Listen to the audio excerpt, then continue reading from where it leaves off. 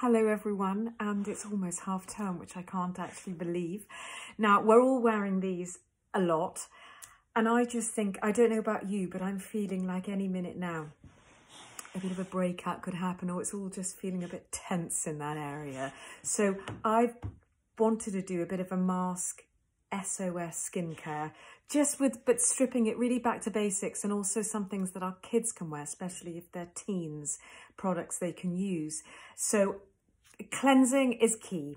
Um, the extra bacteria, when we've got this thing on, you've got to just really make sure a thorough cleanse at the end of the day is what we're doing. Now, my one that I'm going to, which I'm finding so uplifting, is the Dermamiel Cleansing Dew I mean, honestly, aside from having a glass of champagne when I'm cleansing, there's nothing more uplifting than that. But it's a pricey luxury. I'm also got, I've gone right back to basics and gone for my fabulous CeraVe, which do one for oily skin, they do one for dry skin. This is such a great range for um, teens as well, which I've got my, my kids using.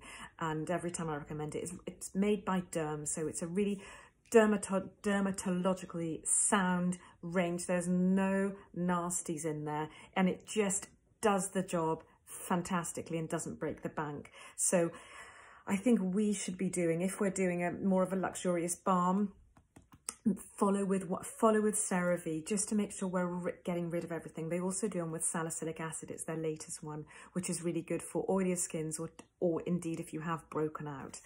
Now, um, the other range that I love is Dr. Sam's for teens. So I'm just popping that in there as well because also for us, it's a lovely cleanser, fantastically priced, um, all available online. So that's the Dr. Sam's. She's also a dermatologist.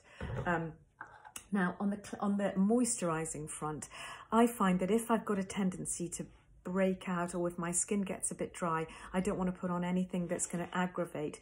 La Roche-Posay, this, I'm not sure how you say it, the Toleriane range, um, which I've been recommended and I really love, I've just started using. And again, I think when we've got these masks on all the time, um, this is a fabulous one to use. Um, also our teens could use it as well. So do look out for that. And this is just a great winter to tide your skin over. Um, so that's the, that's the moisturizer.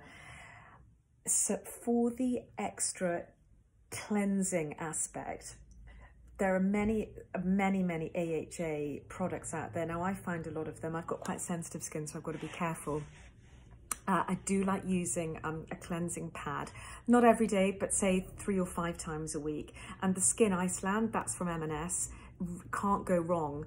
Um, again, we'll just slough off all of the dead skin and we'll make, we'll bit of give you a bit of a glow and um, make sure that you hopefully don't get any breakouts. This is a genius new product, a slightly more um, pricier Medik8. I love the Medik8 range. Um, they're just no nonsense cosmeceutical brand, very, very, um, there's no extra price priciness label everything that you get for you you pay you pay you, you you pay you don't pay any extra press and glow is their newest um, treatment, which is gentler than an AHA. It's a PHA, so you can actually use it twice a day. People I know that have started it have got a really fantastic glow.